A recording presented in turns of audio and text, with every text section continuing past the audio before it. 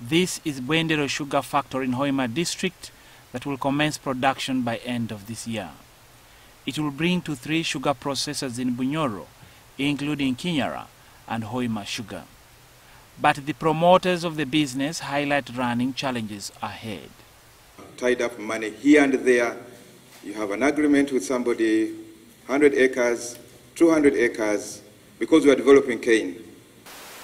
We are growing cane as, uh, to feed our sugar plant that is supposed to start operating, start crushing in December. Putting up the machines, it is a 1,000 tons per day of cane uh, plant.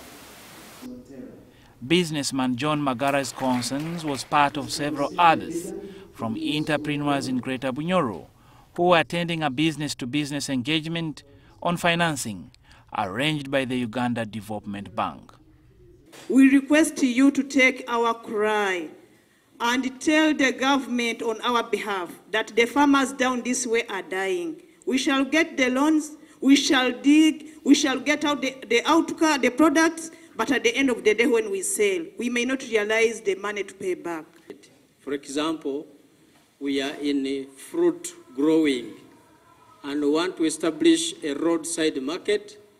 We have our land and we cannot put structures, probably. Do you come in along that line?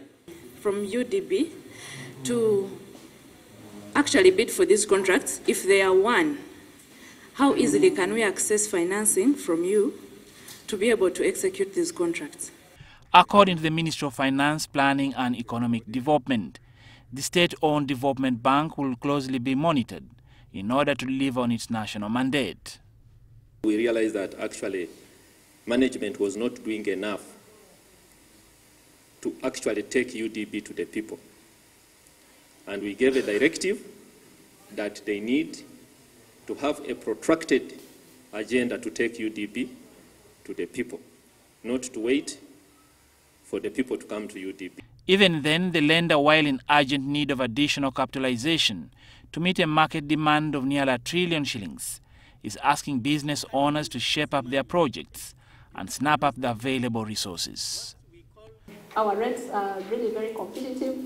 There is no bank that would offer, say, agricultural loans at 10% or 12%. And that is not your prime rate, but that is your um, kind of final rate.